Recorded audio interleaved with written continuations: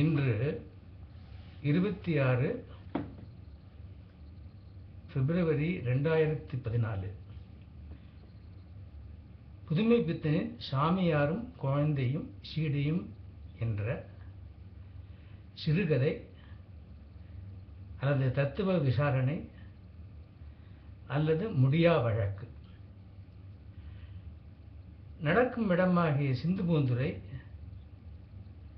எனக்கு அறிமுகமான ஒரு இடம் திருநெல்வேலியும் பாளையங்கோட்டைக்கும் நடுவில். வண்ணாந்துறை என்ற இடத்துக்கிட்ட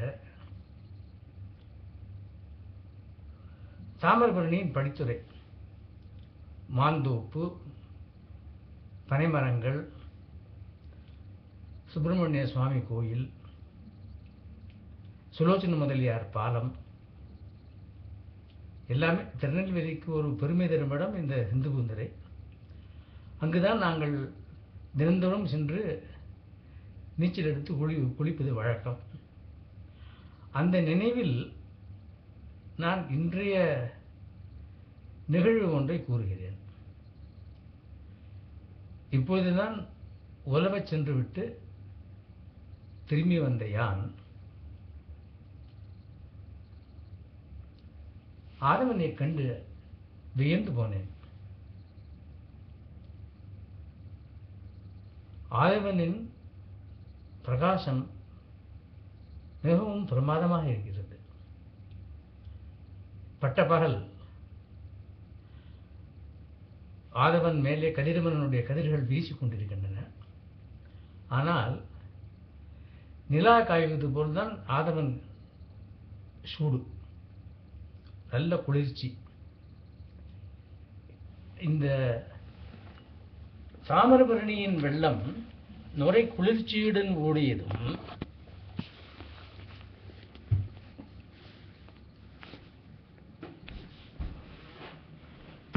என்னுடைய இன்றைய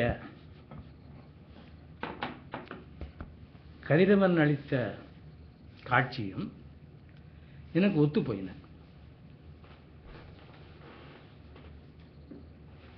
அந்த கதையில் ஒரு முதல் ஒரு தத்துவ விசாரணை. படித்துறைகளில் சாமியார் உட்காந்துருக்காரு எல்லாரும் கூடியிருக்காங்க. சாமியார் வந்து மனிதன் கடவுளை படைத்தான். மனிதன் கடவுளை படைத்தான். கடவுள் மனிதனை பிற சிருஷ்டி செய்தான். இருவரும் மாறி மாறி போட்டி செய்தார்கள். இந்த போட்டிக்கு முடிவே இல்லை. நேற்று வரை பிந்தி பிறந்த கடவுளுக்கு முந்தி பிறந்த மனிதன் வீடு காட்டி வந்தான். இப்படியெல்லாம் பேசுகிறார் அவர். அங்கே வந்து அப்பப்போ குறுக்கு குறுக்கு ஒரு சொற்கள். மனிதனின் பலவீனம் பிச்சைக்காரனுக்கு தெரியும் சாமியாருக்கு தெரியாதா? அதாவது இந்த தர்க்கங்கள் வாதங்கள் அதுவும் பர்டிகுலராக பக்தி மதம் என்று ஆரம்பித்து விட்டால் முடியா வழக்காக போய்கொண்டிருக்கும். ஆளுக்குரு கட்சி. இந்த விவாதத்தில் முடிவு என்ன என்பது தெரியாது. ஆனால் ஜனங்கள் வந்து கேட்டுன்னு தான் இருக்காங்க. அந்த சாமியார் கொஞ்சம் யோசனை பண்ணுறார் என்ன செய்யலாம்? எப்படி சொல்லலாம்? நான் கூட சமீபத்தில் படித்த ஒரு தமிழ்நாட்டில் மிகவும் பிரபலமாக இருந்த சாமியார் ஒருவர் ஒரு ரிசர்ச் டீம் வச்சு அன்றாட சொற்பொழிவுகளை ஏற்பாடு செய்து கொள்வாராம். இந்த டாக் ஷோலாம் பண்ணுறாங்களே அந்த மாதிரி. அது இருக்கட்டும் நம்ம இவருக்கு வருவோம் புதுமை பித்தனுக்கு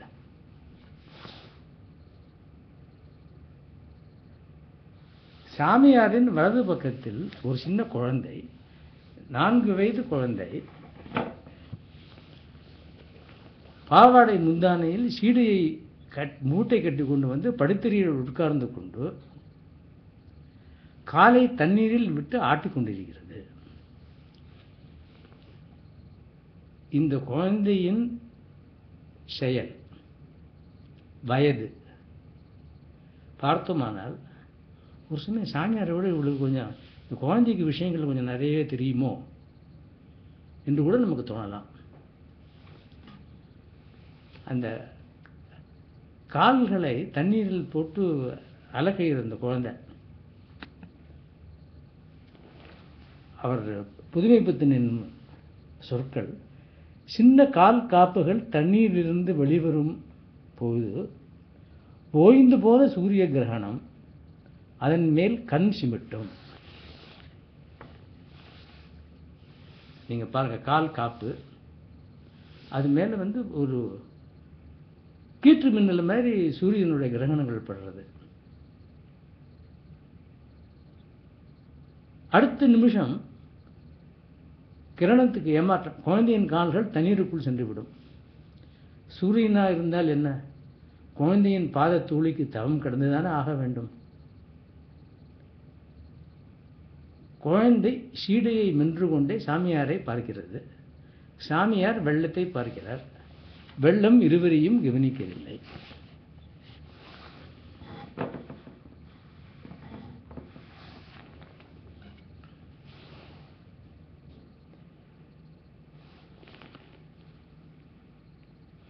சாமியாரின் பேச்சு. மனிதன் நல்லவன் தான் தான் உண்டாக்கிய கடவுளிடம் அறிவை ஒப்படைத்தான். அப்பொழுது அவன் புத்திசாலியாக வாழ்ந்திருக்க முடியும். அப்பொழுதுதான் அது தன்னிடம் இருந்து அவனுக்கு தெரியாதது. இப்போது அறிவாளியாக அவன் அல்லல் படுகிறான் சிஷ்டி தொழில் நடத்துபவனுக்கு அறிவு அவசியம் என்பது அவனுக்கு தெரியாது. இப்போது அவஸ்தை படுகிறான் அதற்கு அவனை குற்றம் சொல்ல முடியுமா? அப்படி என்று கேட்கிறார். ஆக மொத்தம் இந்த கதையை நான் இன்று எடுத்துக்கொண்டதுக்கு காரணம் அநேக சமயங்கள் மனிதர்கள் எதற்காக எதை பேசுகிறார்கள் எதை சொல்லுகிறார்கள் எதை எழுதுகிறார்கள் அது யாருக்கு லாபம் என்றெல்லாம் கூட கேள்வி எழுகிறது. சமயங்களில் நாம் ஏதாவது எழுதுகிறோம் உடனே அதுக்கு ஒரு தப்பர்த்தம் கண்டுபிடிச்சிட்டு அவங்க வந்து பாயறாங்க வச்சுக்கோங்க. அந்த மாதிரி புதுமை பித்தன் எழுத்துக்கள் மேலேயும் கண்டனங்கள் வந்து உள்ளன. அவர் ஒரு க ஒரு கதையை முடிக்க மாட்டார். அவர் தன் கருத்துக்களை மட்டும்தான் சொல்லுவார். அப்படின்ற கூட சொல்கிறார் அதெல்லாம் இல்லை. ஒரு இதையும் ஒரு தாராள பார்வையுடன் நடுநிலையில் நின்று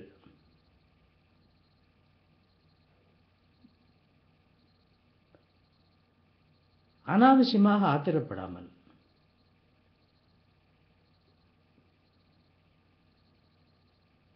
நிதானமாக கவனித்தால் பல தத்துவங்கள் தானாகவே நம் கண்முன் தெரியும்.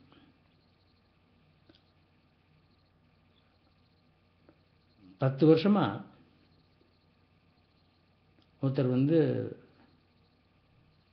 பாடம் எடுக்கிறார். ஷேக்ஸ்பியர் பாடம் எடுக்கிறார். எங்களுக்கு வி. கே. விஸ்வநாதயருங்கிற ஒரு ஆசிரியர். வச்சுக்கோங்களேன். அவர் நிஜமாகவே எனக்கு ஷேக்ஸ்பியர் பாடம் எடுத்தவர் தான். அப்போ அந்த பாடத்தின் நுணுக்கங்களை சொல்லும்போது ஷேக்ஸ்பியர் சொன்னதும் நமது ஆசிரியர் சொன்னதுக்கும் வித்தியாசங்கள் இருக்கலாம். அவர் என்ன தன் உள்வாங்கி கொண்டாரோ அதைத்தானே நமக்கு சொல்லுகிறார். அது ஆசிரியர் என்று ஒரு நிலைமைக்கு வந்த பிறகு அவர்கள் அதற்கு தகுந்த இலக்கணங்கள் வகுத்துக் கொள்வார்கள். அதே மாதிரி இப்போ இந்த சாமியார் குழந்தை வெள்ளம் மூன்றையும் பார்த்தோமானால் சாமியார் வந்து உரையாற்றுகிறார் தத்துவம் பேசுகிறார் புதுமை புத்தகம் சொல்லி பின்னி எடுக்கிறார். பின்னி எடுத்த ஆபத்து கேட்டுக்கோங்க. குழந்தையோ நிச்சல தத்துவமாக சித்தப்பிரதிஜனாக சற்று கூட சலனம் இல்லாமல் இயற்கை அன்னையுடன் தாமிரபரணி ஆற்றுடன் விளையாடி கொண்டிருக்கிறார்கள் சீடை அகிரணை உணவு சுவை இற்றுடன் இன்றைய கதை முடிகிறது. அவரவர்கள் அவர்களுக்கு இஷ்டப்பட்ட அர்த்தங்கள் செய்து கொள்ளுங்கள். நன்றி வணக்கம்.